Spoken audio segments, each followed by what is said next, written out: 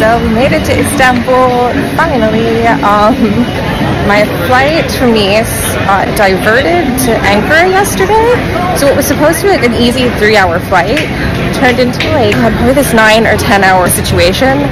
After we like looped around Istanbul airport for like a good hour, ended up sitting in Ankara airport for like almost three hours. They wouldn't let us off the plane which was promising because it you know made it feel like we were probably going to eventually fly back to Istanbul, but also really irritating because they didn't give us water, they didn't give us food, and they wouldn't give us any information. Almost three hours later, they turned the TVs on again.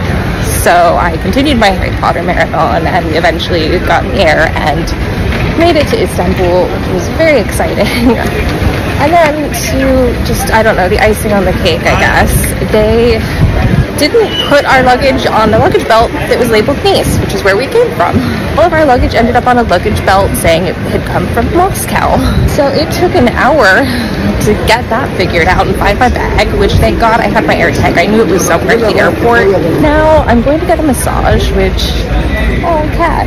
Um, which is very needed. After that, grab a coffee and then show you around town.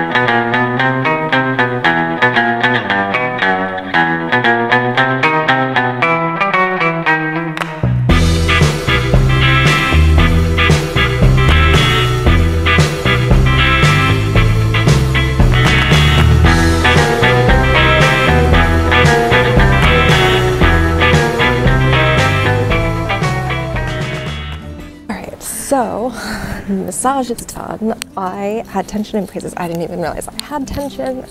Seriously, the best place. Um, the owner remembered me because I was there so much last year when I was in Istanbul. I was here like two weeks and was just super stressed. So I was there like three times. It was really, really good.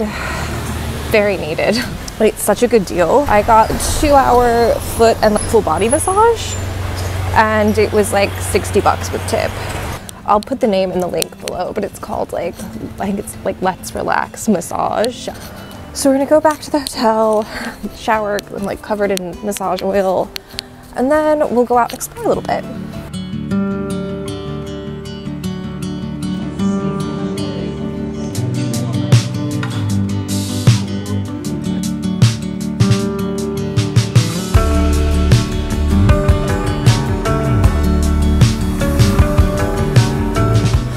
Also, fun fact, one thing most people kind of forget about Istanbul, it's really hilly.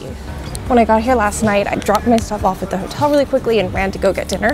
And the amount of women in stilettos like struggling on these hills, like ladies, just wear practical shoes.